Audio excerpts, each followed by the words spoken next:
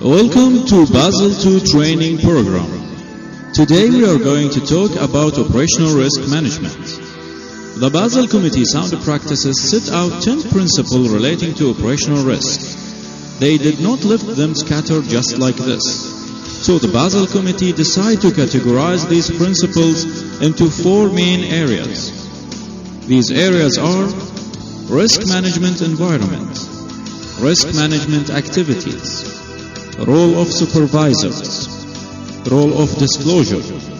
Please join us to explore these areas.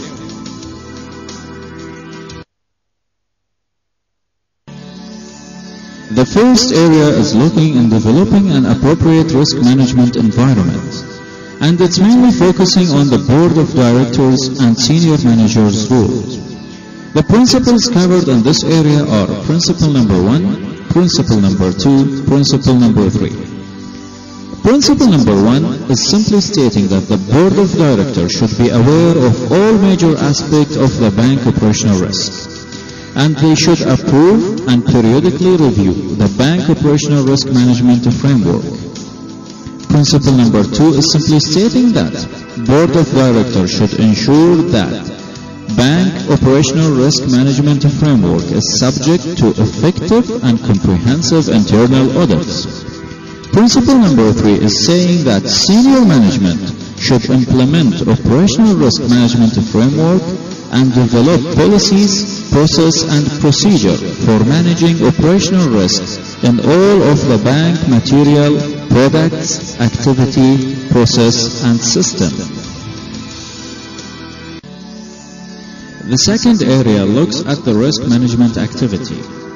Actually, this area is focusing on the bank itself as a one unit.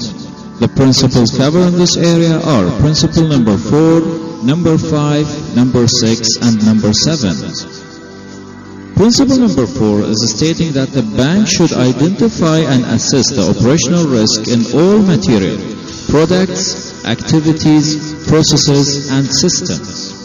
Principle number five stating that the bank should regularly monitor its operational risk profiles.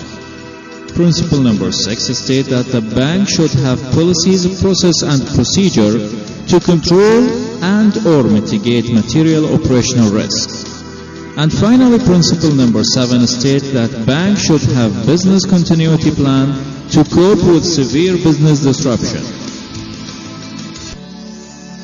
The third area is covering the role of supervisors.